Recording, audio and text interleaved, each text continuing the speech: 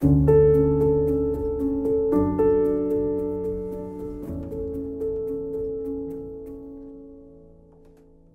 McCollum is, was a great boss. He was a great man and he was so knowledgeable. It's like a walking encyclopedia. There's nothing that he doesn't know.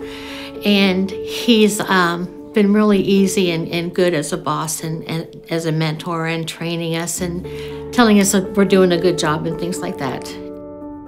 Two weeks into my job here, I received a thank you card from Dr. M, just appreciating me for my hard work and and efforts here at the clinic and um, just incentive to work harder and he is a very kind and compassionate man and I've been honored to work with him.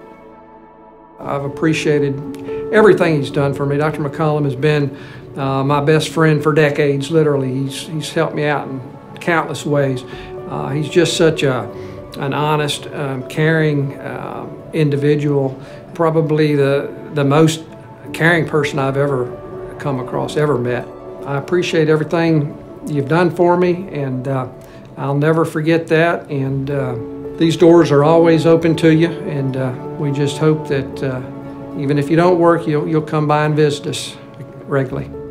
I saw Dr. McCollum at a state meeting one day, and I, and I said, Dr. McCollum, how do you, how do you do with the the stress of veterinary medicine? You know, the, the people, the money, the, the staffing. And he said, Steve said, you know, I just I go home and get on my tractor and go out in the field and checking my cows, and, and things just kind of just kind of go away. And what a fine person! So happy for him to receive this award, uh, so richly deserved by a gentleman who uh, has not only been a friend but a, a mentor.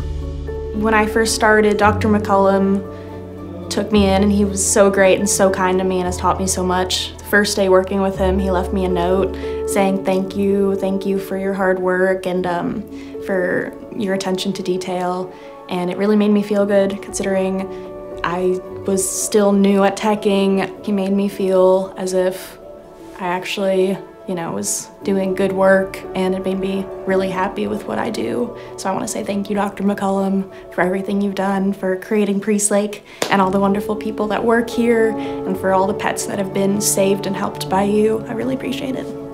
From working with him at TVMA, I have seen how he will stand up for the veterinary profession, for veterinarians. We have seen that through his work on legislative activities.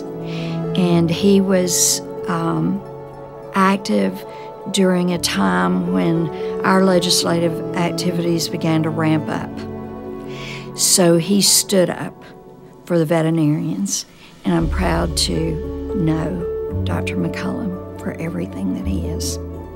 So I've been very fortunate to work with Dr. McCollum for the last 12 years.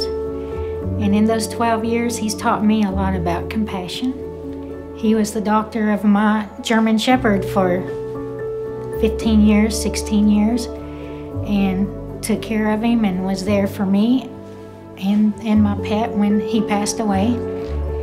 Um, when I say compassionate, he actually would pick up the phone and call the next day just to make sure that you were okay. And I can't tell you how much I appreciate that.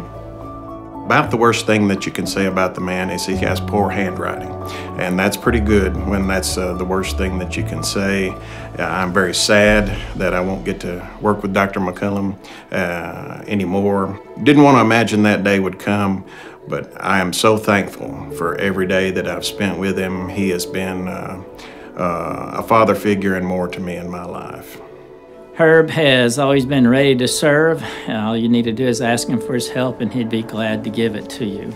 Uh, I also greatly appreciate Herb because he would see snakes and reptiles, of which I don't care for either one of them, and it was good to have somebody in the community that uh, knew uh, how to treat these animals. Um, Herb's just a great guy. He's a pillar of the community, stands out greatly. I appreciate him, Congratulations on the award.